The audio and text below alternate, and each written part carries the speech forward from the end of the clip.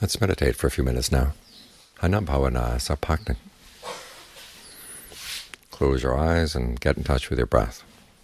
Know when it's coming in, know when it's going out. Stick with it, because the breath is the foundation for all our actions.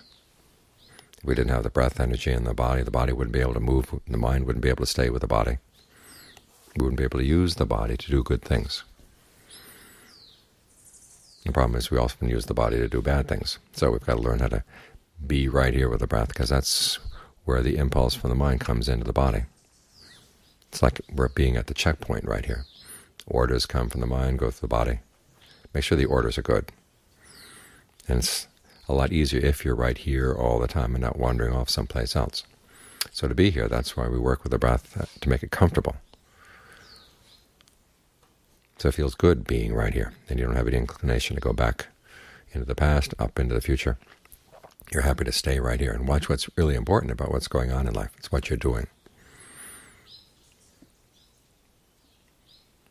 And the question is, how do you know what to do the right thing? Well, you've learned from other people. This is why we have the, the word katanyu in Pali, katanyuta, which means remembering what was done, particularly remembering what the good things that people have done for you. Like today, it's our annual gratitude fest.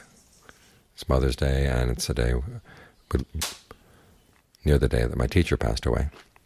And so it's good to stop and think with gratitude of the lessons we've learned from people, from our parents, from our teachers, all the good things they taught us. They went to all that effort to teach us. And what have we done with their teachings? Have we made good use of them? That's something we have to ask ourselves. The proper response, of course, is that you want to do something good in return. If the person's still alive, you can do favors for that person. You can help that person. If the person is no longer alive, then you can carry on the goodness that they, they taught you. This is how goodness survives in the world. We appreciate that the things that our teachers, our parents, other people in past generations did for us, and we want to make sure that doesn't get lost with us. It's like something passed down the line a dish of food passed down the line. Make sure you don't you're not the one who drops it. Maybe someday it's going to get dropped, but, but don't you be the one who drops it. The goodness they taught you about how to be a good person, how to speak well, how to act well, how to think well, how to read, how to write, all the things we learned from our teachers and learned from our parents. You want to put that to good use.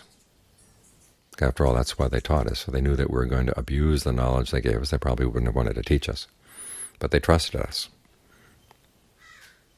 They trusted that we would take make good use of the goodness that they passed on to us. So make sure that you're worthy of that trust, that you live up to that trust. Whatever it was that they taught you about being good, make sure that you realize that that's really important. With Ajaan Fuang one time, there was one night when we were going to do meditation, and he didn't let us know until the very last minute that it was going to be an all-night sit. And we'd been working hard all day on other projects. And I complained. I said, I don't think I'll be able to do that. And he said, is, is it going to kill you? Well, no. I'd make it through, but it's going to be a fair amount of suffering. He said, well, if it's not going to kill you, you can do it. That's the importance of goodness.